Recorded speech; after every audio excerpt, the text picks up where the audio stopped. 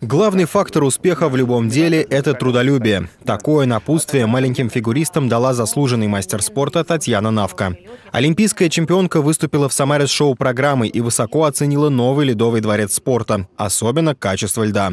Заслуженный мастер спорта отметила, как важно было для нее в детстве иметь возможность пообщаться с выдающимися фигуристами. Я из Днепропетровска и помню себя вот такой маленькой, даже еще меньше девочка, когда к нам в Днепропетровск приезжали все именитые фигуристы того времени. И это огромное счастье, э, это какое-то вот то, что ты рядом, можешь соприкоснуться, посмотреть. Мне кажется, на всю жизнь этот день остается в памяти.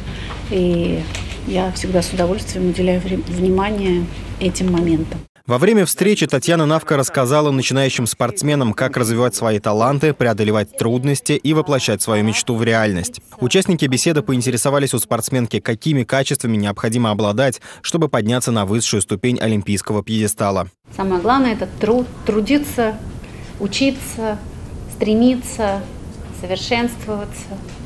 Для этого у вас все есть. Этот замечательный каток. Да-да.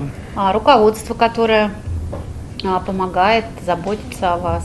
Встреча с олимпийской чемпионкой прошла благодаря проекту Общественной палаты Самарской области «Творцы счастья», который направлен на мотивацию молодежи к выстраиванию взаимоотношений, независимо от наличия ограничений по возможностям здоровья.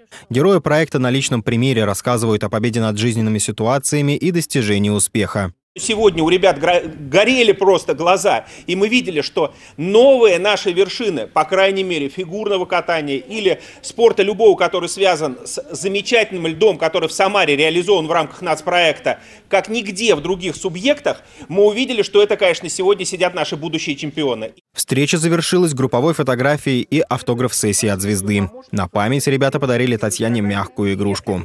Максим Магомедов, Константин Головин. События. Спасибо. Коллеги, не против? thanks, Amma.